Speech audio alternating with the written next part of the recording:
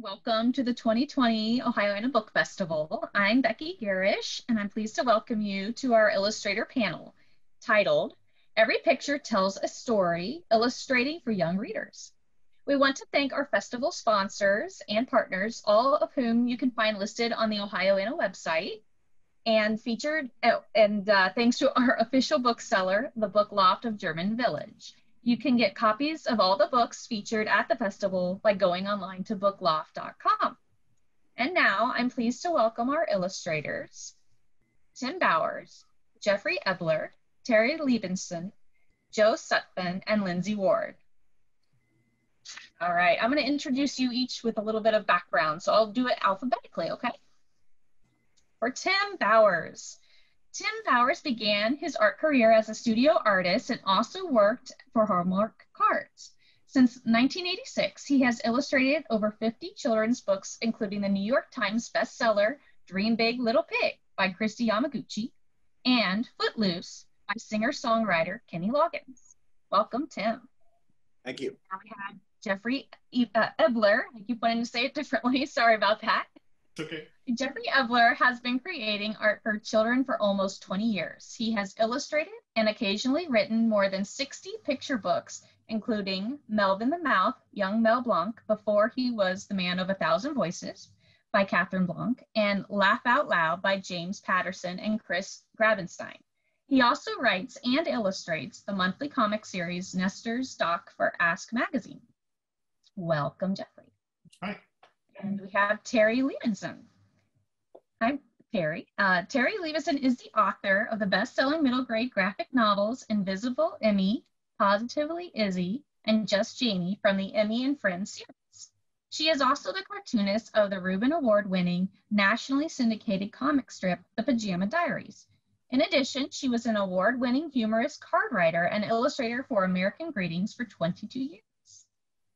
Next, we have Joe Sutphin. Joe is an illustrator of many books for kids, including the New York Times bestseller Word of Mouse by James Patterson and Chris Grabenstein, and Raffi on the Run by Jacqueline Resnick, Resnick sorry, as well as the forthcoming newly envisioned edition of Little Pilgrim's Progress and the official graphic novel adaptation of Watership Down. Welcome, Joe. And last but not least is Lindsay Ward. Lindsay Ward has a BFA in illustration from Syracuse, Syracuse University. Her most recent books include This Book is Gray and the Amazon bestselling Dexter T. Rexter series. Lindsay is also the founder of Critterlit, a free picture book manuscript and illustration critique service for up and coming authors and illustrators. Welcome all. I'm so excited for this panel. I love all of you guys. This is so exciting. Mm-hmm. all right.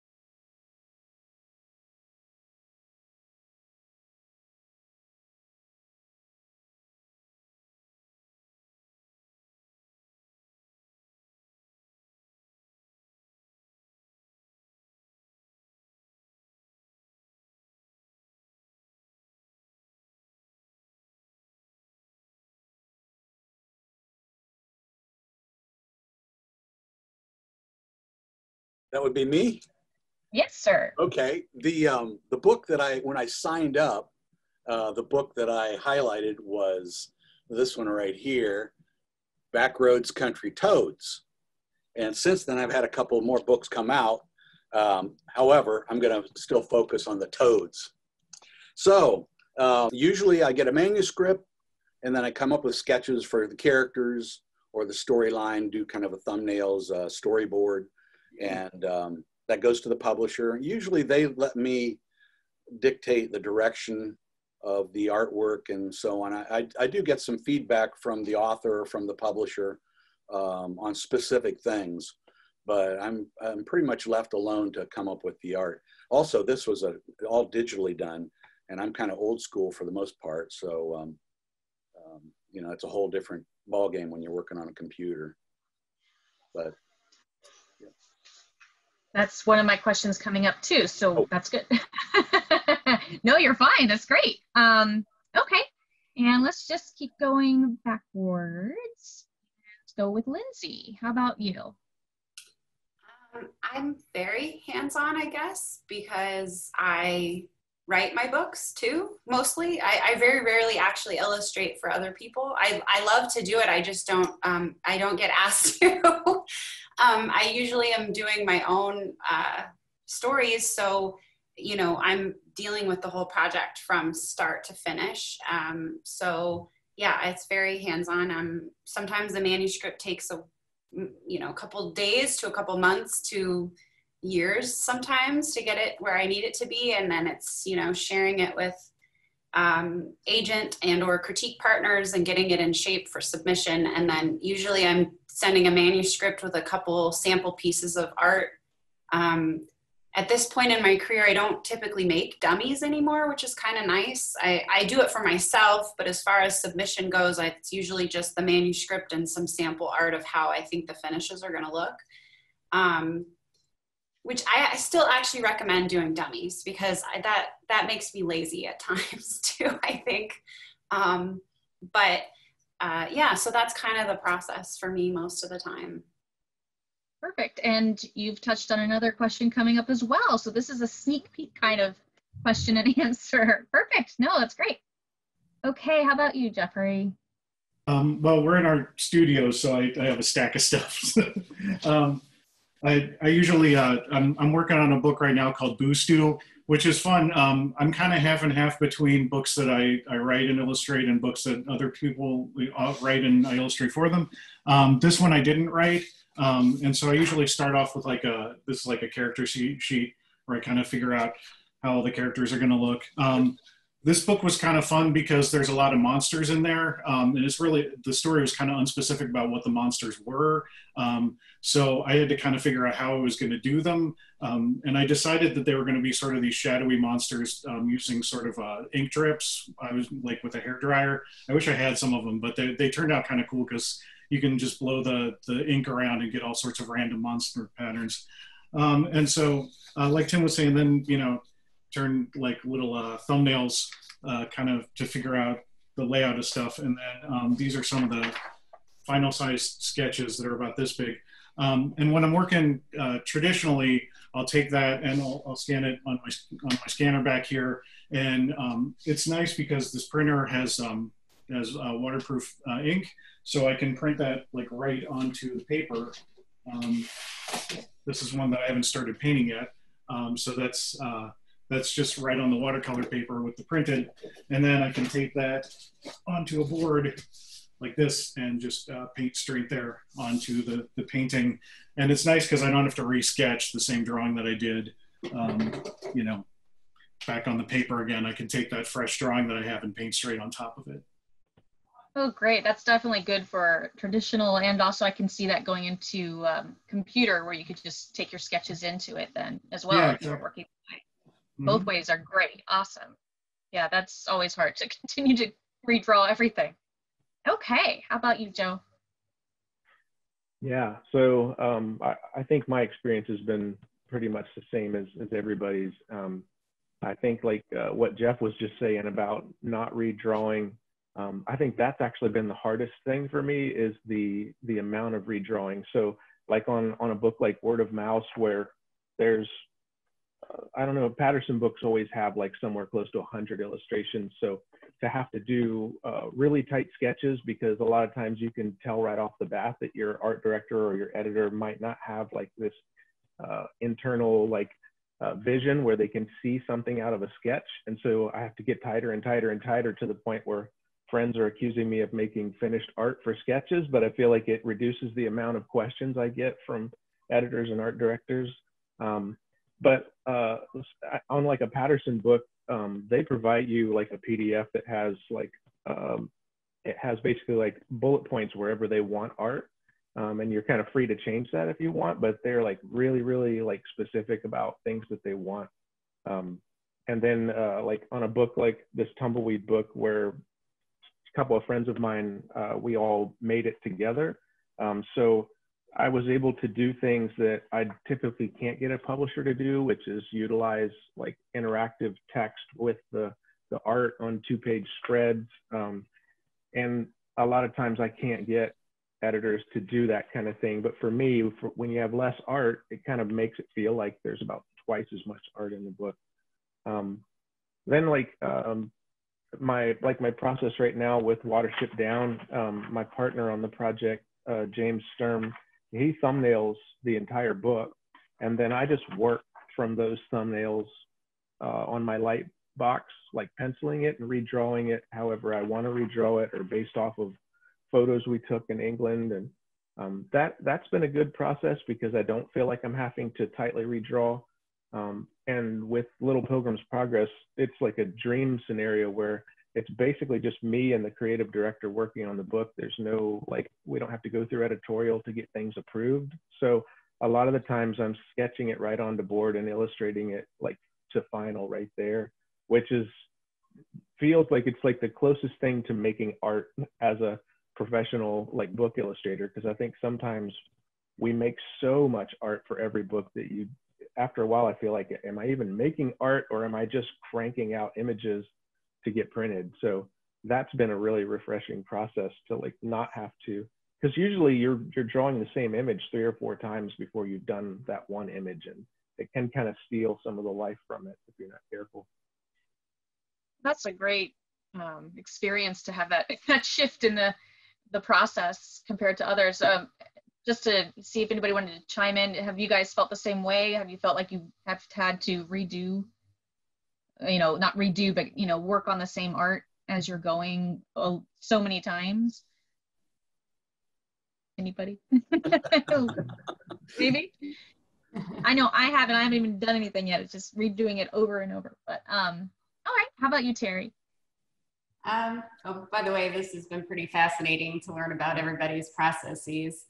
Um, so I pretty much get free reign as far as what I'm illustrating, um, although my editor might reel me in at you know certain points if uh, something either isn't making sense or if it just isn't uh, following or just isn't appropriate, which I've been known to do at times. Um, but I have I have a book that's kind of all, all these books um, in the Emmy and Friends series. They're um, what I call hybrids. So they're a little bit different. Um, they're part I'll show they're part like illustrated novel where you can see there's text and some um, illustrations intermixed, usually like spot art, although it's kind of might be a little hard to tell here.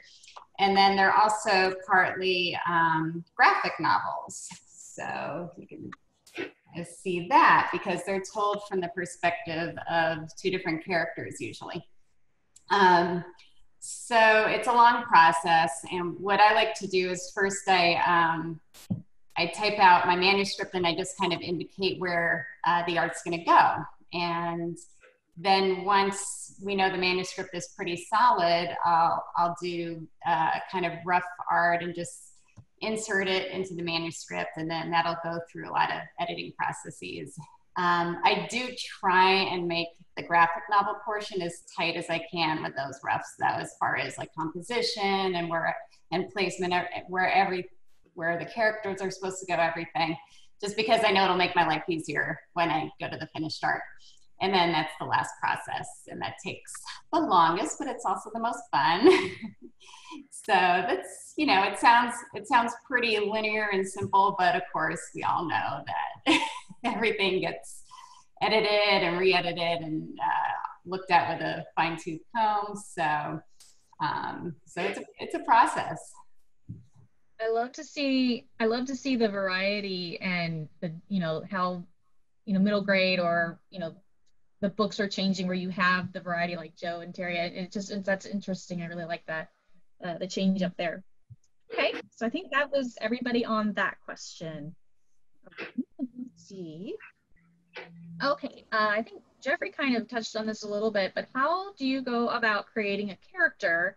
Is this a lengthy process with many sketches and drafts, as we've touched on, or uh, do they often just pop right out you know of your head on the page is it something you have to like really work with especially if you got something from the the editor or something that you didn't write is it is it a challenge and i guess we'll go the other way again let's start with terri well i did all the hard work up front with the first book so uh, so i created the characters then and that was a lengthy process that took a while um, the the way I did it was um, I just sort of wrote from the perspective of myself at age uh, 12, 13. Um, and that's that's where I came up with the character Emmy from Invisible Emmy. She's basically just me. And then her um, best friend Brianna, who's who's featured in my newest book, um, I sort of based her off of um, my old best friend from fifth grade who kind of bossed me around. So, and then and then all these characters kind of evolved from there. And um, I just created a cast, and they've all sort of uh, just kind of come forth with each book.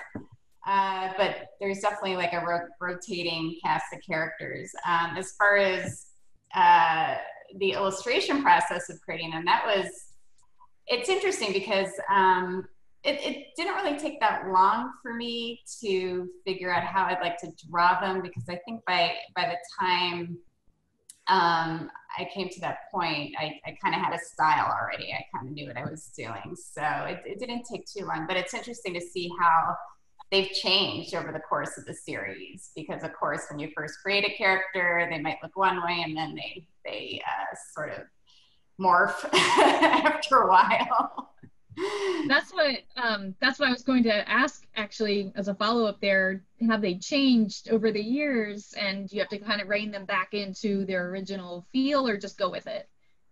So yeah, I just kind of go with it. It was the same with my comic strip too. It, it's so weird to see to see it from the early days and how different it looks from uh, when it ended. So same with the books. That's that's awesome. Okay. All right. How about you, Joe?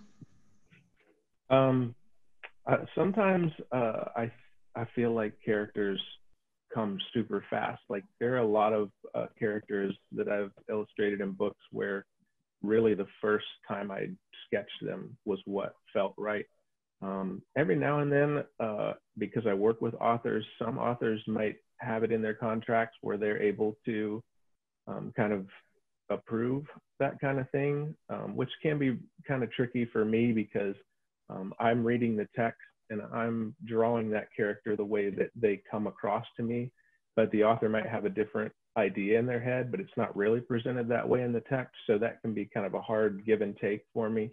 Um, but it doesn't happen often. Um, every now and then, uh, if I'm struggling, usually it's at the very beginning and it might be because uh, I haven't like locked into the style of art that I'm going to do. I feel like things aren't always, my art's not always the same. It just kind of evolves and grows with the needs of each book. Um, but, and then there's things like, like with Watership Down, I've got just so many rabbits to draw. And how do you make, how do you make like 11 rabbits on, that are all together in a scene? How do you make them all look different? Or how do you make rabbits look the same as themselves as you get you know 100 pages down the road so like for that i i keep a like a character sheet in front of me at all times so i can constantly be referencing spots and stripes and marks and eye shapes and how long their muzzle is or what their ears do. Do they lay flat or do they stand up real straight or do they have a notch in one ear? So just trying to like keep those things straight because um, i might have 20 to 30 rabbits on one page um, throughout the panels or so that that can be kind of tricky um, but there uh, a lot of the design process for little pilgrim's progress like i'm i'm really left to come up with whatever i come up with and um, my creative director might give me some thoughts on how something could look even better um, but uh, for the most part I've, I've had a lot of freedom that's great. Yeah, it, it's interesting to see how so much detail and and paying attention to that consistency and a lot of people don't realize how much work that actually takes. That's a great example of having that in front of you. Great thanks. And okay go ahead jeffrey. Um, I, i've had occasional issues like joe was talking about where the the author you know has has specific ideas that that didn't click with with my initial ideas when I read their manuscript. Um, a lot of times um, when I'm getting a picture book um, from from an author, you know, that, that someone else wrote, and I'm reading it for the first time, especially if there aren't a whole lot of words in it. Um, it's it's kind of you got to like find that hook, you know, that um, that sort of keys you into to how you want to approach the art. Because I really I try to to um, to make every book different and try and really try and figure out how I'm going to make that art style and those characters really specific to that book.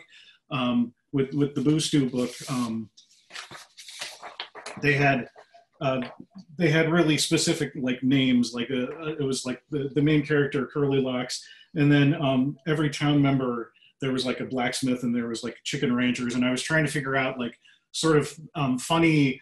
Uh, sort of funny quirky visual things to add to each character to to you know to to lock them into their style um, and so when i'm doing books like that for that, that other people wrote um, I really have to struggle sometimes to find the hook, and I, I, do a lot of like you know looking online and trying to find lots and lots of pictures um, of things that sort of uh, you know will get me locked in. Um, when I'm doing stuff that I wrote, like I'm working on a, a comic series right now. Um, it's like an early reader uh, comic books, and um, those those books um, all started from like doodles of you know just like coming up with you know uh, just sketching characters and they're all different monsters um, that like each book is themed around a different monster and um, those books all sort of arrived from the character sketches like i wrote the stories based around the sketches um, so they started character first and then sort of built the story around them Hey, that's interesting because I've heard, you know, what comes first sometimes, the character design and then the story, if you're doing both, or is it, you know, mm-hmm.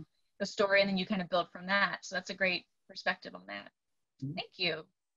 Okay, Lindsay, your turn. Um, so, well, since I'm typically writing it, um, I have a sensibility about the characters beforehand, uh, or at least what they're going to look like or who they are. Um, I spend a lot of time getting to know them. Um, I'm just going to, it's not an arm's reach, but I'm going to be right back. Just grabbing.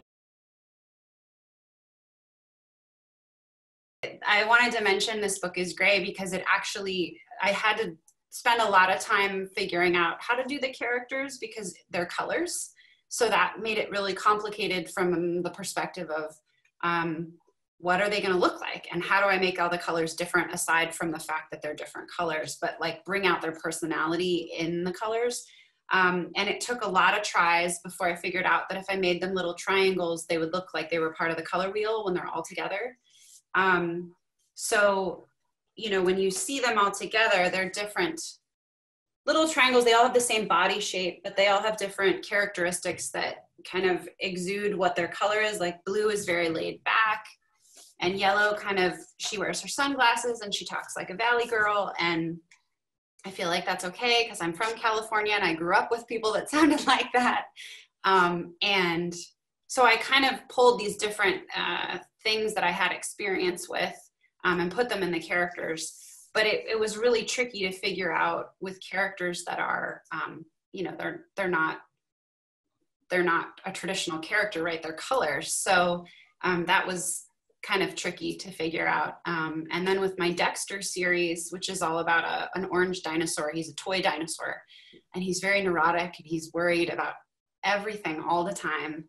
Um, I feel like I've done three picture books for him now, and and um, I don't even really feel like, as crazy as this sounds, I don't feel like I'm writing. I feel like he's just telling me what to say because I've gotten so familiar with that voice that it just becomes second nature when I'm writing that voice.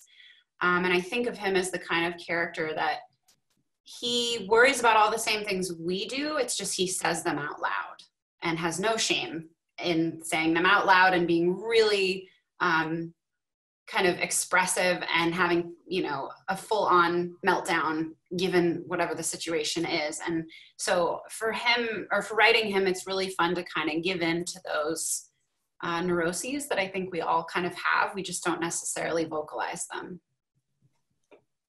Perfect. I love the the colors are that's that's really really fun. I love that. Just they're all the same but you have to make them different to make them unique characters. Okay, Tim, you're Sorry about that. You're up again. okay, okay. I'm going to go back to the um, Backroads Country Toads.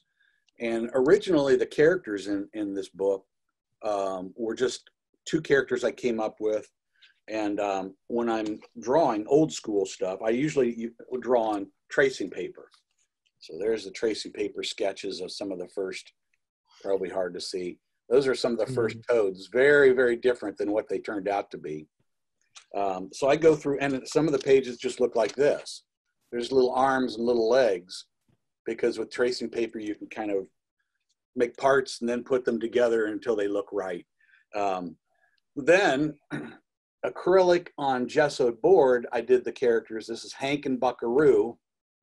Um, you can see, I don't know if you can compare that to, here's the actual book cover.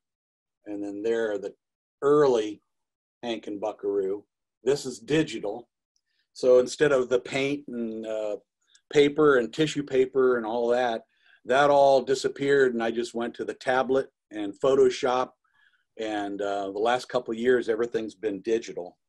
Um, this is the little storyboard. I don't know if you can see that. They're just little rough sketches of the two toads. And so uh, those characters kind of began as two little toads and then the story followed. It's not typically how I work. Um, the, the next book I did, and I'll just throw these out. I don't know if the bookstore has them, but um, Memoirs of a Tortoise. I'll hold it back here. This was written by the same guy who, uh, Devin Scillian, but it started with the story. And then I usually read the story and try to get a feel for the tone because everything kind of serves the story. You know, the words, the pictures. And so the characters start to um, come after I read the text, I, I kind of see them in my head. What what do they look like? And I start experimenting that way. Now, the the last book I j- just came out last week was with Kwame Alexander, and it was it started as a musical uh, with the Kennedy Center. Um, and Kwame took the characters from a book we did a few years ago, uh, Acoustic Rooster and his Barnyard Band, and he uh, included another character from one of his previous books named Indigo Bloom. And so the new book was Acoustic Roosters Barnyard Boogie starring Indigo Bloom. Long title. But um, so that started as a play, and then he um, um, rewrote the, the play to become more of a children's book format. And so um, the characters were already established from a previous book. And uh, so we went that way. Unfortunately, um, that one came out, like I said, last week. It was the the uh, play was supposed to come out about now, and so everything, you know, being canceled and pushed back, the play won't come out until uh, the musical until next year. Um, but you know, I I've been working digitally for the last couple of years, and I was talking to uh, um, Ben at the Mazza Museum, and he's he mentioned that several artists he had talked to who were working digitally are starting to go back to more of the you know the tactile the the old school um, materials. Because I'd mentioned to him I'm I like working digitally but I kind of miss the paint and the paper and the and the uh, tissue you know and the the book dummies. And I still do book dummies uh, but they're all digital you know PDF book dummy. And it's different than turning a page and getting that surprise. And it's, it's a little different.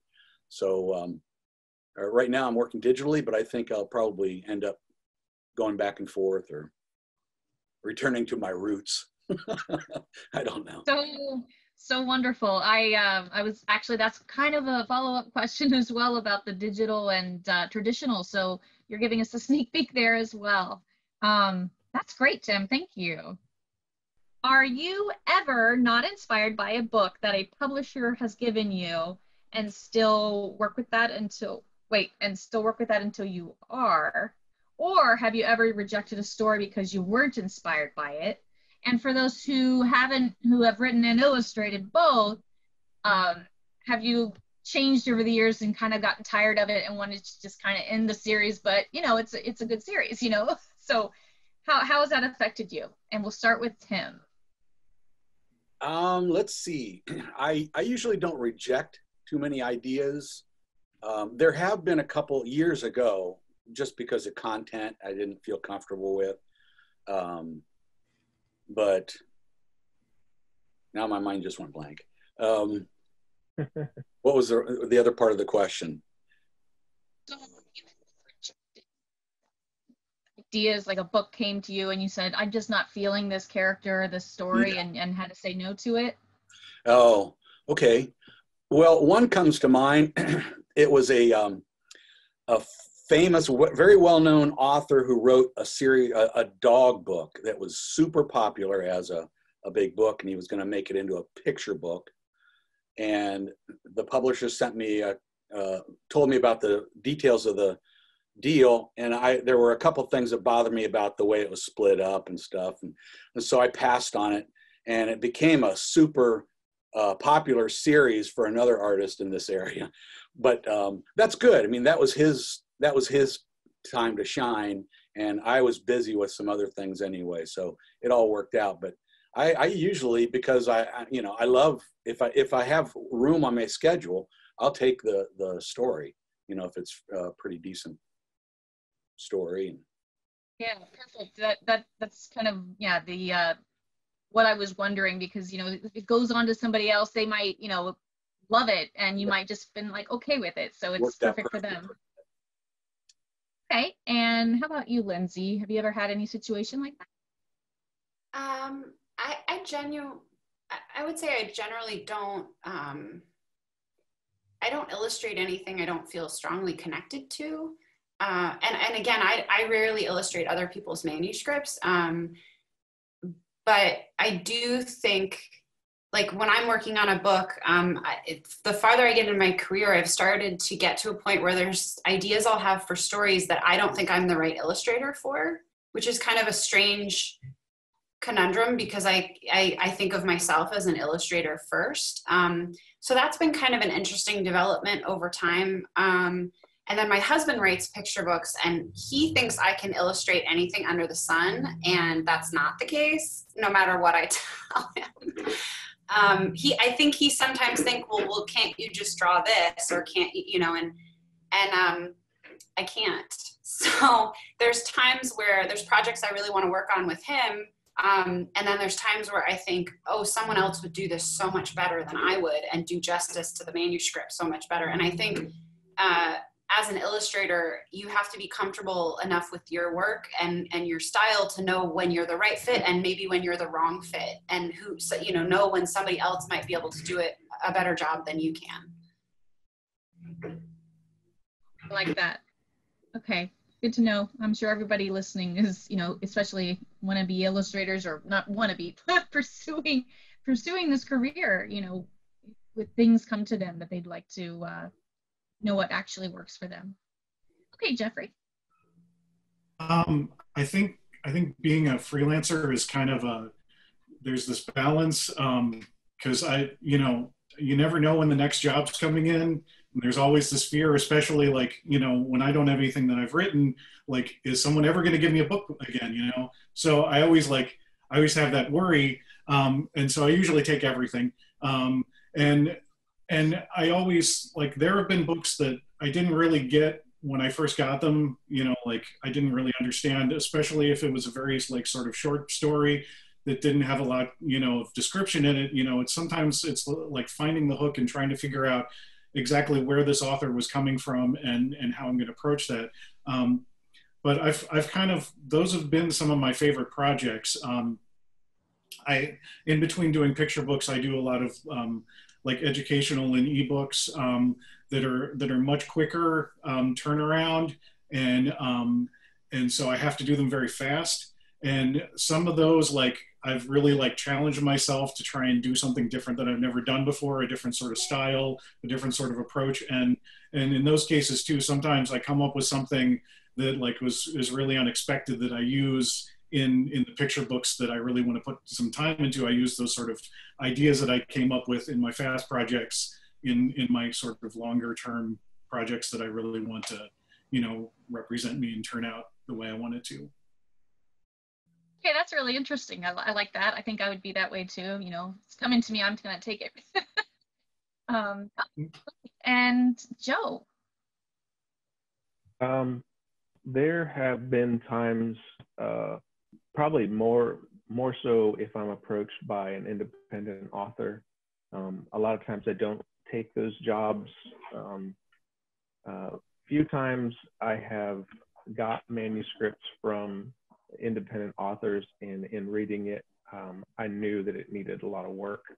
Um, and I knew that it wouldn't be uh, it wouldn't be right for me or that person to put that book out the way it was, and I would uh, kind of introduce them to uh, like an independent editor friend of mine to help them rewrite it. Um, but uh, there have definitely been times that people have approached me with stories that I knew like that's just just not right for me. I'm not I'm not the person that they need. Um, a lot of people like they might follow you on Instagram or something and they just think um, your your art is awesome and I want to know if you'll illustrate my book, but they don't have a grasp on just because you like my art doesn't mean my art is right for your story. Um, I've done a couple books through publishers as well where I didn't connect at all to the characters or um, the style that they wanted. Um, there was there had been one at least one time where one or two times where I took book projects um, when they were uh, showing me explicitly what I had to draw and the style, what it had to be like, and the end product. You really can't tell that I did it, um, but it was money that I didn't have at the time, and I wasn't so busy that I could turn it down. So um, I did them, and you know they they didn't end up being something that I would want to show too much because I don't want I don't I really like my portfolio to be this is the stuff this is the work I want to be doing. So I'm not going to put stuff in my portfolio that I don't want to get requests on because you will get requests on them. Um, uh, when I was approached about this Little Pilgrim's Progress book, um, I immediately was just thinking, I'm really not sure I'm right for this. Like, I couldn't see myself doing these like medieval people in medieval towns and all the clothing and the and so I went back to the creative director and just asked him, uh, what what was it of mine that you saw that made you reach out to me about this book? And he sent me back an email with all of these images of animals I'd drawn. And I was thinking, okay, that's odd. And so then I got on the phone with him and he was like, uh, you know how sometimes in a movie they might take like Shakespeare but put it in like uh, futuristic Las Vegas or something. And I said, oh, okay. And, and he said, well, I'm thinking we do this whole book in like your wild animal worlds where everything's anthropomorphic and whatever. And then it clicked like, okay, this guy totally gets me. He knows why he came to me. Um, so I think it was helpful. I've started to ask that question a lot. Like when I get requests out of the blue, I might ask like, what what was it of mine that you saw that made you reach out to me? Because I want to know what they're thinking and and how they feel that I fit in to that because um, I'm definitely at a place now in my career where I want to be doing stuff that kind of fits into my legacy of what I want to leave behind. Um, I'd like to get past that. I think everybody at the start of their career just has to take some work because you need the repetition. You need to be under fire and under deadlines, and you gotta. All that is really good training, and um, it's good for for kind of helping you grow up into the field of, of illustrating books. Um, but I think there comes a time for a lot of us where we'd we'd love to not be taking the the work that just we need it because we have to eat. You know, we don't want to take that forever. That's wonder. That's just wonderful advice. I love that for everybody to have that of you know what's right for you and to ask the questions um, of how they what what they saw of your work that was good uh, that they wanted. So I love that. Thank you. Okay, Terri, how about you? Um, well, I haven't had the experience of um, having to turn down illustration work for books because I'm illustrating my own uh, writing. So kind of like kind of like Lindsay. Um, and it's interesting, uh, like Lindsay, I, I kind I'm starting to identify, um, sort of go go through that uh, identity change where um, I, I personally am uh, identifying more as an author than an illustrator at this point even though I do both. Um, but I've, I've really gotten a joy out of, uh, out of writing. Um, I find it to be uh, incredibly challenging and fulfilling and frustrating. and I feel like when I've conquered it, it's such a great feeling. Um, uh, with that said, I guess I don't have the same type of experiences. Um, I've rejected a lot of, you know, Facebook requests and Instagram requests from, from people asking if they could, if I could illustrate their unpublished uh, book, but otherwise I haven't had the same kind of experiences. Um, I've been cartooning, I've been doing my own thing forever. Um, but I will say that I'm, I'm actually trying to delve into the world of picture books right now. I'm trying to write some of my own. I, I just love them. And I don't know if I'll be successful or not, but I do already know that uh, some of the ones that I'm writing, if, if any of them go forward, um, I might not be the right illustrator for them. I might seek you guys out or have my, have my uh, publisher if I'm so lucky. Um, but some of them I can, some of them I, I know I'm not the right person for. So I'm already differentiating that, which I guess is a good thing.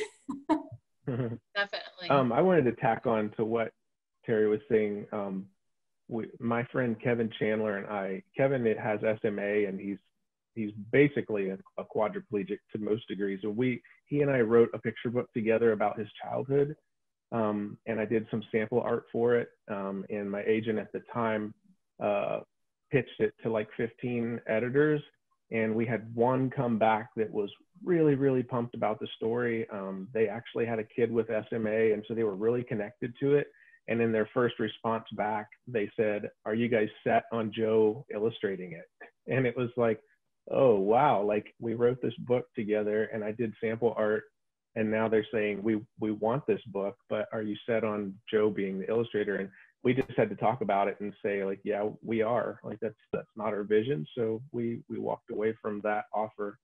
Um, it hasn't been published yet, so um, that can happen too definitely. Okay, well, um, okay, here's a light, light one, uh, probably a little shorter, but we will start with Terri. But what is your studio writing space like? Is it organized or messy?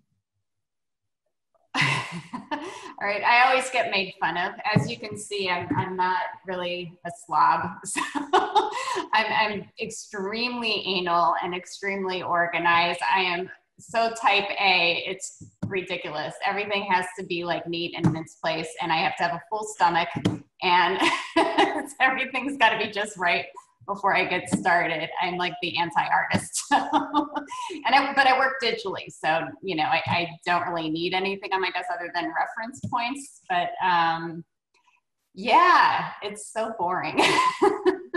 that is just fine, I'm sure. But everybody, you know, loves to hear um, and I, I personally am, am fascinated by, you know, people's workspace. So that's, that's a great one. Thank you.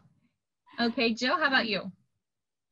Um, I'm in my workspace. Uh, I like to surround myself with art and I've got loads of picture books and novels and chapter books and things to inspire me. And, um, I happen to be in the open air in this loft, so uh, my wife and I can hear each other wherever we are. So we tend to kind of blend work and life together, maybe more than we want sometimes, but it's too easy when you can say, Hey, have you seen the such and such? And we try and figure out where that is at. Or um, we have five cats, so sometimes the cats come up and I might get a tap and look down, and one of the cats wanting to see me, or cats might be fighting somewhere in the house, and I've got to run and break that up. Um, but I, I do really, really like my studio space.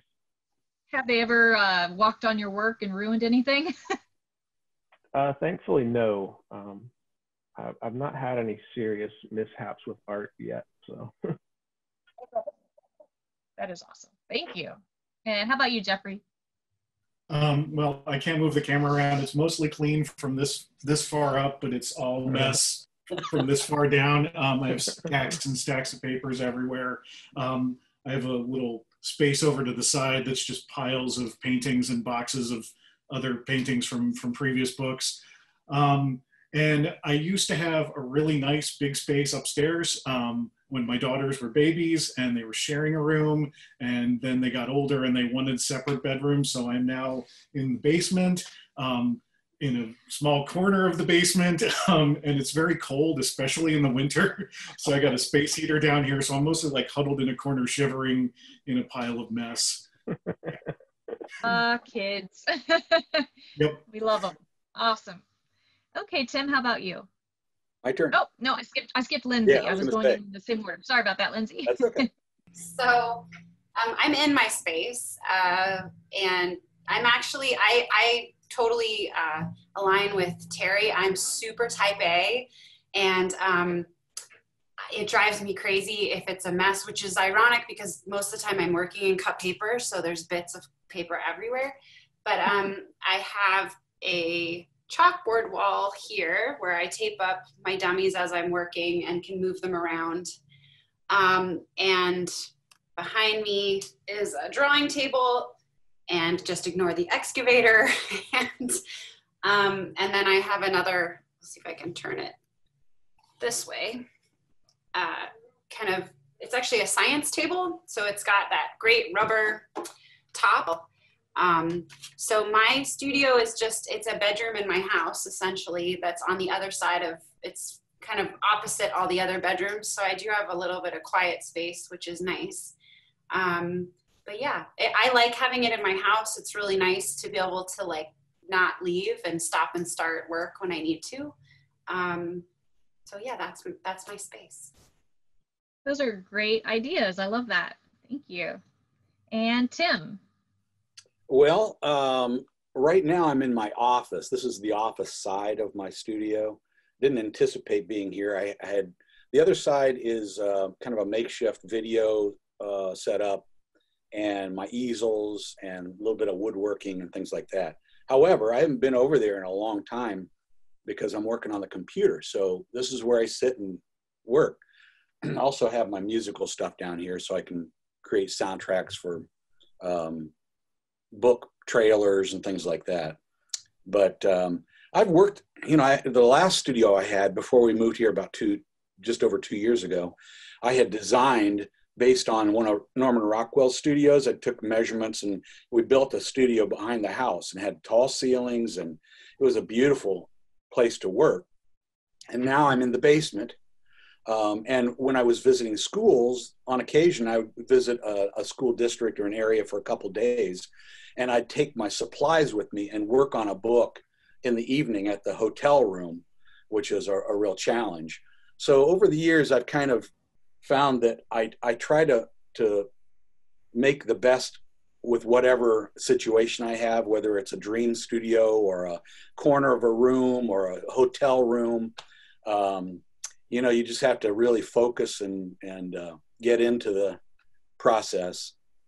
So That's great. Yeah, versatility. And uh, Yeah. I love that. The Norman Rockwell. I would love that. Yeah, well, two years. Let me add this. Two years ago, about two years ago, um, I did uh, an old, you know, a painting, a painted book, oil on canvas, and I sent it to New York, and they had some changes they needed to on the cover. So I made the changes overnight. I stayed up all night. I put a hair dryer on it to get it dry enough that I could send back to them, and then so I was like spent.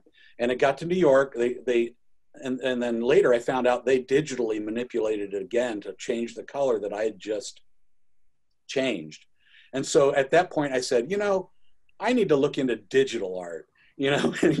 and so since then I've been creating digital art. Um, but the problem is, right after I made that choice, my computer whacked out. I mean, I have a, an I, iMac, and it just stopped working. Got the lines, and it just it was dead. And and one thinking was, well, I'm going to save a lot of money by working on the computer because all the paint and paper and everything. And so right after I chose to work digitally, I had to buy a new computer, which didn't support my tablet and didn't support some of my software. So it became a lot more expensive than probably if I would have sat over there and did it with my acrylics and Bristol board. But you roll with the punches. that- is that is so true.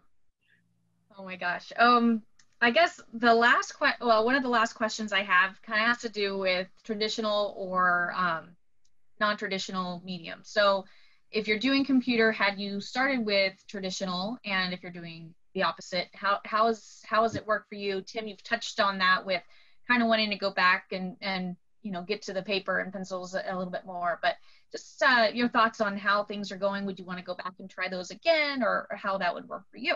Uh, and Tim, did you want to add anything to what you said earlier? Um, there are pros and cons to either. You know, I think it's really really important to to have a good skill set, either direction you go. Good drawing, you know, color sense, and that sort of thing.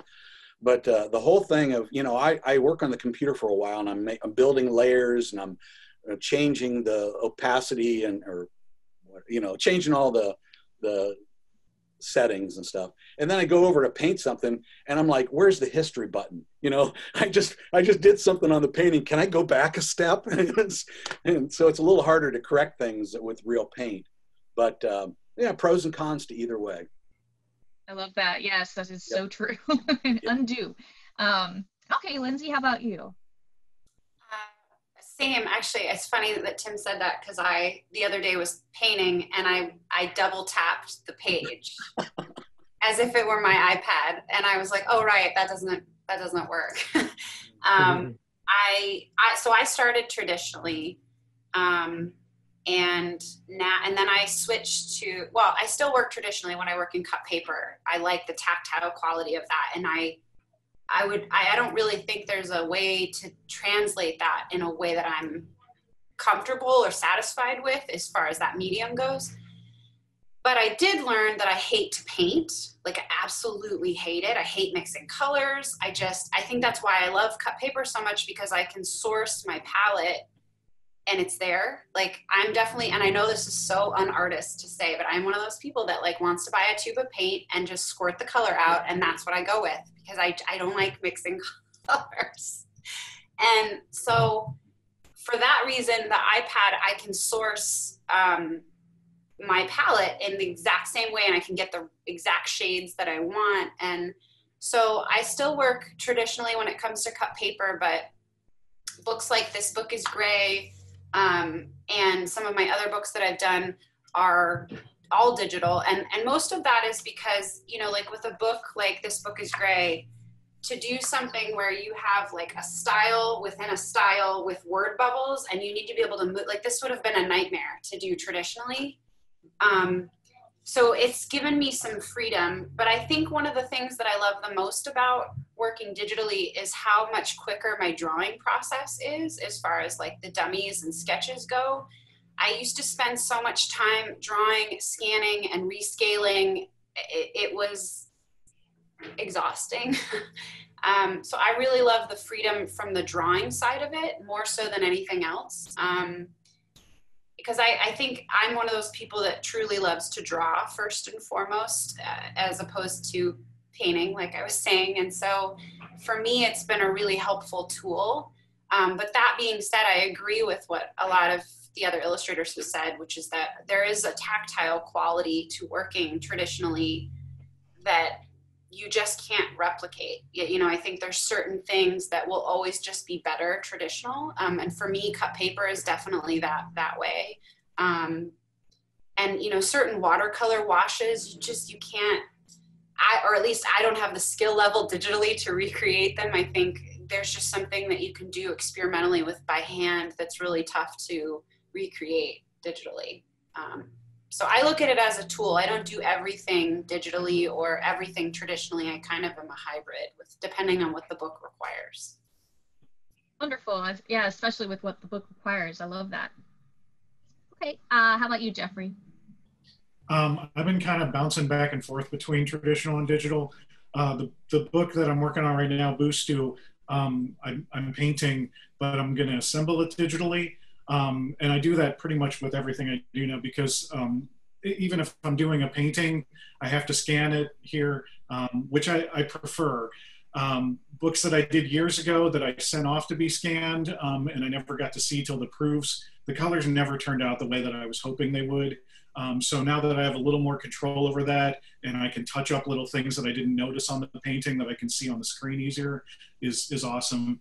Um, but the this uh, the book that I'm working on right now, um, or the, the, the series I'm working on, this is a this came out or is coming out um, next year. It's called A Giant Mess, and that's that's all on the iPad, um, and it's more of a comic book style. Um, and I'm doing a series of them. Uh, the first one's about a giant that makes you know like a giant boy that comes to a town and makes a mess out of it. Uh, the next one is called Cracking Me Up about a funny kraken. Um, and uh, those, since it was sort of a comic book style, I wanted to um, to, to, I thought it would be a good way to transition because this will be the first book I've ever done that's all digital.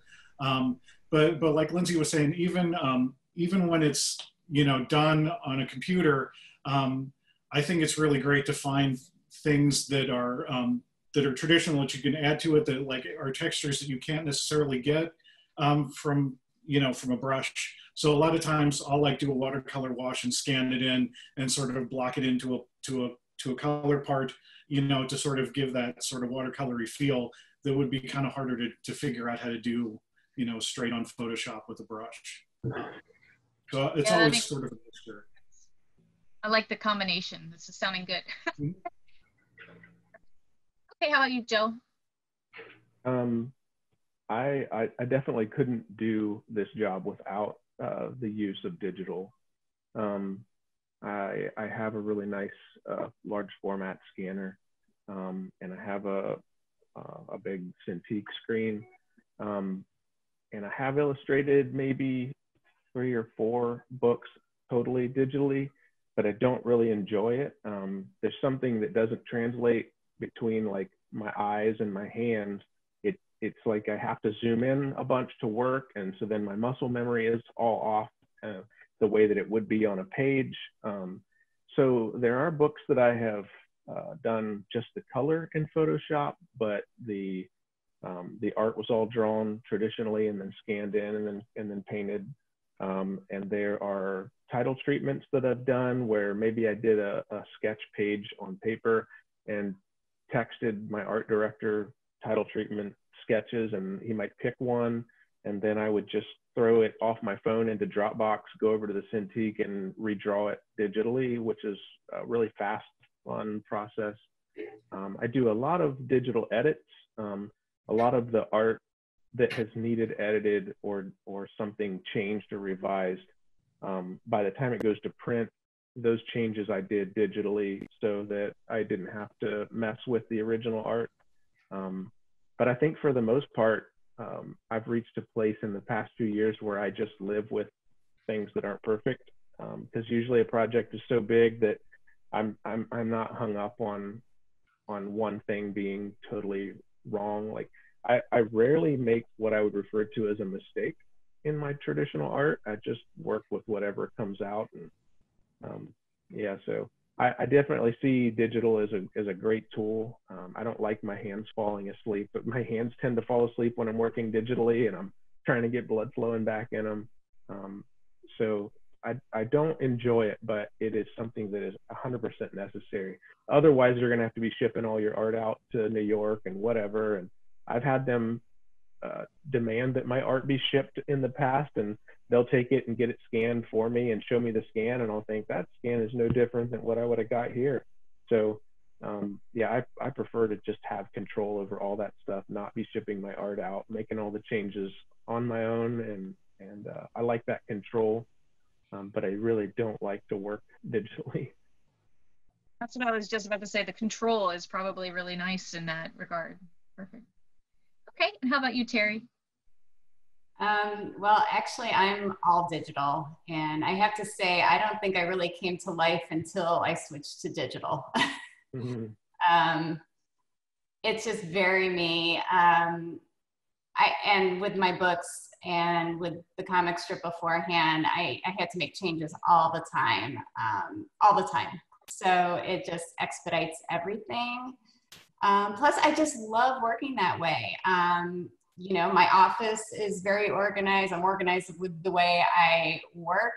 Um, artistically, I'm hyper anal, and I wish I, I wish I actually had a looser style. Sometimes um, I really admire that. I admire anyone who um, who works old school and and and uses traditional materials.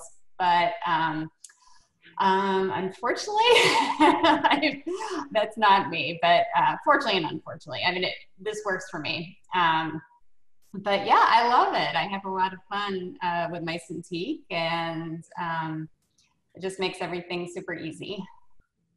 I love that that everybody has their own version of what works for them, and that for people watching who are you know trying to decide that there's so many different options and it's what works for you. So thank you. Um, Okay, let's start again with Terri. And can you tell us a little bit about your book festival title?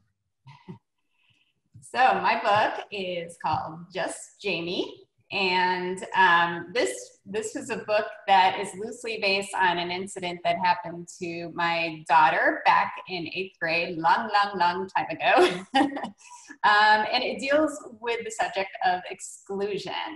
Uh, my, my daughter's actually given me permission to talk about this. So what happened to her was she was essentially dumped by her friend group through a group text message. And it was horrible. And, and uh, she's she's in college now. She's fine. She's gotten over it. She has a wonderful group of friends now. But but this was something that was just so hurtful and so universal in middle school um, and I figured, what a great subject matter for a book that so many um, kids can identify with. So, what what made it a little more layered, though, is that um, I have it I have it told from the perspective of both the excluder and the excludee. So you get both sides of the story because I think that's important as well. And uh, it's told in my usual style of um, partly illustrated novel, which has a lot of text and then spot illustrations, and part graphic novel.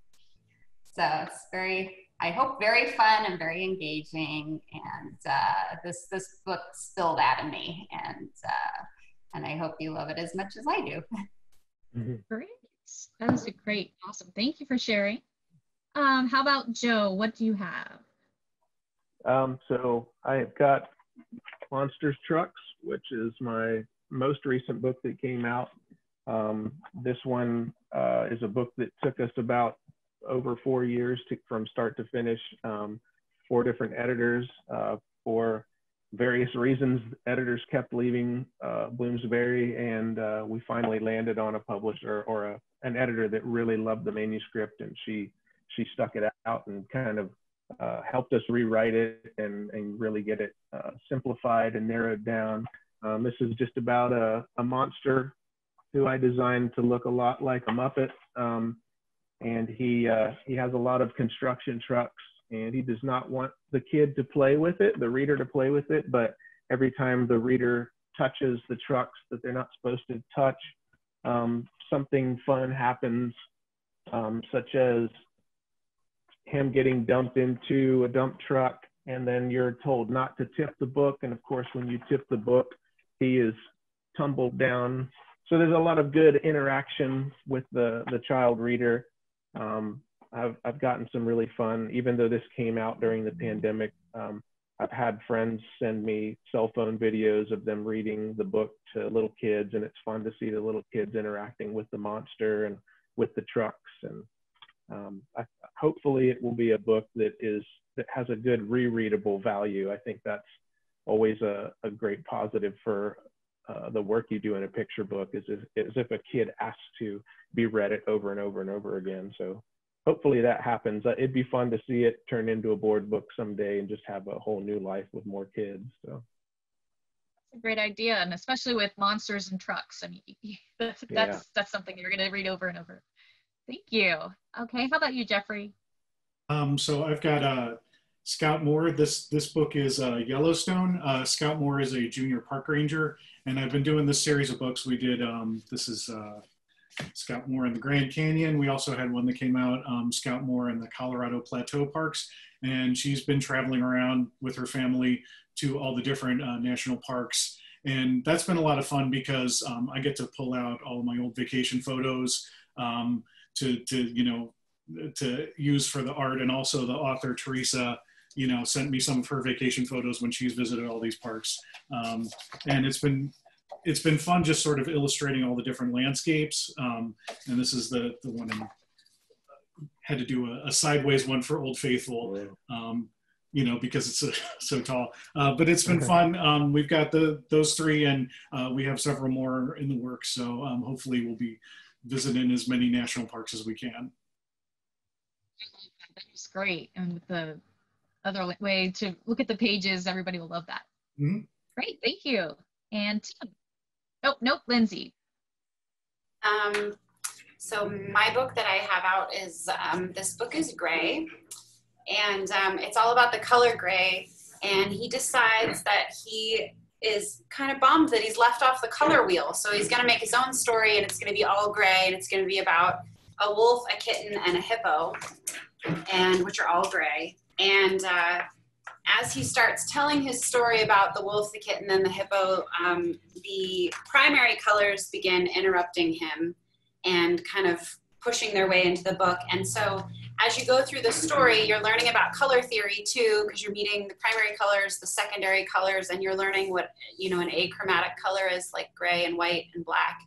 Um, and yeah, so it's, it's all about the colors and, and Gray making his own story and feeling um, excluded, which kind of piggybacks onto what Terri's book is about, actually, about being included with your friends and finding your place. Um, and yeah, so, and I'm really excited because there will be a sequel next fall called Pink is Not a Color.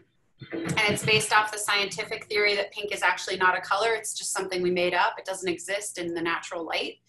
Um, so it's kind of an identity crisis book. Um, and then I've just made an activity book to go along with this series called This Book is for Coloring, and it teaches color theory to kids where they can mix colors. And I realize how ironic that is considering what I just told you about how I hate to mix colors.